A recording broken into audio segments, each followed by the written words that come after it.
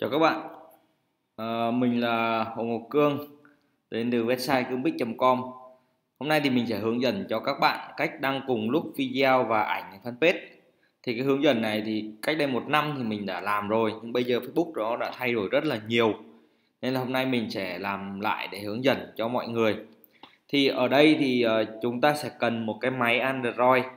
Và nếu như không có Android á thì chúng ta có thể giả lập Android máy tính ở đây thì mình dùng cái thằng này để cài phần mềm giả lập. Rất là tốt bởi vì nó có thể sử dụng cho Mac và lần Windows được. Thì ở đây thì chúng ta sẽ cài mình sẽ cài cái này vào. Các bạn có máy Android thì thôi khỏi nhá. Ok mình sẽ à, bật nó lên. Ở đây lưu ý với các máy hệ uh, iPhone thì uh, mọi người cần phải hạ phiên bản của cái tình quản lý fanpage xuống nhé thì uh, cái đó mọi người tìm Google trong video này mình mình chưa có thể làm được cái đó cho mọi người được. Tạm thời thì mọi người có thể sử dụng cách này vì mình có thể làm thuận tiện ở trên máy tính hay là trên Android đều được. Không có thì mọi người cứ đi mua cái Android cho nó tiện.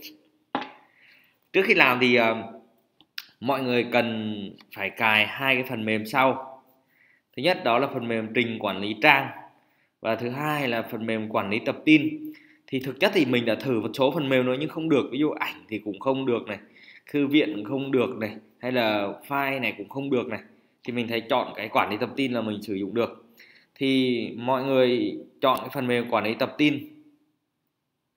Ở đây thì cái bước đầu tiên mà chúng ta cần phải làm á, đó là tải hai cái ứng dụng sau.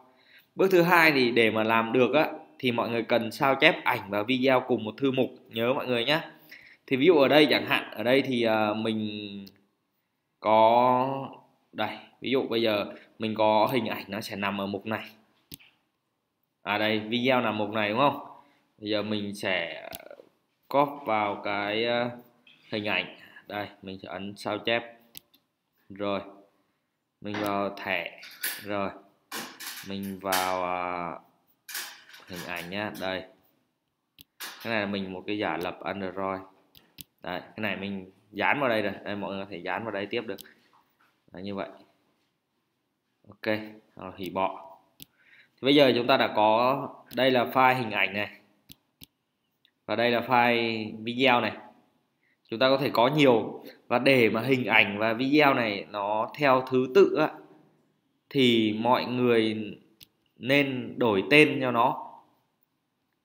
Đổi tên nhé ví dụ bây giờ mọi người muốn là cái à, video này lên đầu chẳng hạn thì đánh là, ví dụ hình ảnh này là số 2 chẳng hạn. Ok, và video này là lên đầu chẳng hạn. Đây, mình đổi tên. Thì thằng này sẽ là 01 đấy, thì nó sẽ lên đầu. Và tiếp tục nếu mà chúng ta có ảnh tiếp nữa thì chúng ta sẽ có tiếp tục. Chứ bây giờ mình cần thêm một bức ảnh nữa đi chẳng hạn. Đấy thì hôm qua mình chụp thử có cái ra. Ở đây chuyển từ này qua. Ôi, cái này khả năng là mất công nhỉ.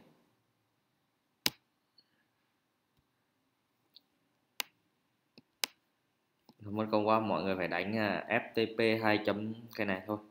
Mất công quá, khi khác vậy. Còn chúng ta có thể chuyển từ máy tính sang được nhé rồi, ok. Bây giờ chúng ta sẽ làm như thế nào? Đây, đúng không?